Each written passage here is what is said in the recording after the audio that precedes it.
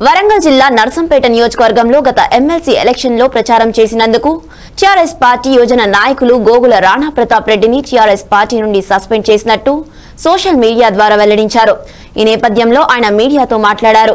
ఎన్నికల్లో TRS party విజయానికి తాను ఎన్నో సేవలు అందించానన్నారు. జనతా ట్రస్ట్ సేవలన్నీ ఏ రాజకీయం పార్టీలకు సంబంధం లేకుండా సేవలు అందిస్తున్నానన్నారు ఆయన.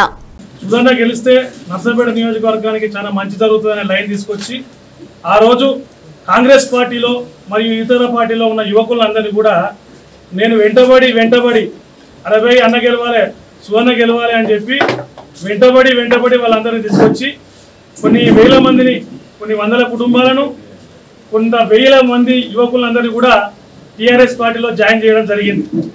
ఆ తర్వాత కూడా ఎలక్షన్ల క్రమంలో కూడా వయసుతోటి సంబంధం లేకుండా చేయగల శక్తి సామర్థ్యాలు ఉన్నాయని చెప్పి ఎమ్మెల్యే సుదర్శన్ రెడ్డి గారు అప్పుడు ఎమ్మెల్యే కాకముందు కూడా సివిల్ సప్లై చైర్మన్ గారు ఉన్నప్పుడు కూడా నాకు కొన్ని బాధ్యతలు అప్పు చెప్పడం జరిగింది.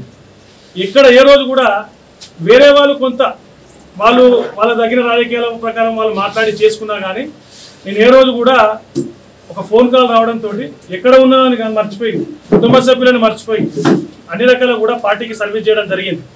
పార్టీతో పాటు మేము పార్టీలకు రాకముందు నుంచి కూడా ఓ రూపాయి సంపాదిస్తే ఓ పావుల సేవా కార్యక్రమాలు చేద్దామని చెప్పి లైన్ పెట్టుకొని నేను నర్సంపేటకు నేను వచ్చిన రెండు వేల పదిహేను నుంచి కూడా నేను అవి చేసుకుంటూ వస్తాను.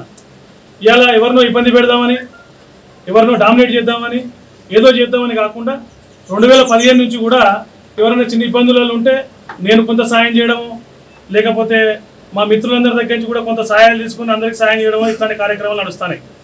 ఈ మధ్య జరిగిన వాతావరణంలో మా తోడపుట్టు రాణి రుద్రమారెడ్డి గారు ఎమ్మెల్సీ ఎలక్షన్లో కంటెస్ట్ చేయడం జరిగింది. ఈ ఎమ్మెల్సీ ఎలక్షన్లో కంటెస్ట్ చేసినప్పుడు నాకు ఒక చిన్న ప్రశ్న ఇంట్లో ఎదురైంది. కుటుంబం ముఖ్యమా రాజకీయం ముఖ్యమా అంటే రక్త సంబంధం ముఖ్యమని చెప్పి ఆ ఎలక్షన్లో మా సోదరి రాణి రుద్రమారెడ్డి గారికి పనిచేయడం జరిగింది. ఆ ఎప్పుడైతే ఈ గ్రాడ్యుయేషన్ ఎలక్షన్ జరిగినాయో ఆ క్రమంలో ఏర్పడిన ఒక సంవత్సర కాలం అవుతుంది ఇప్పటికి.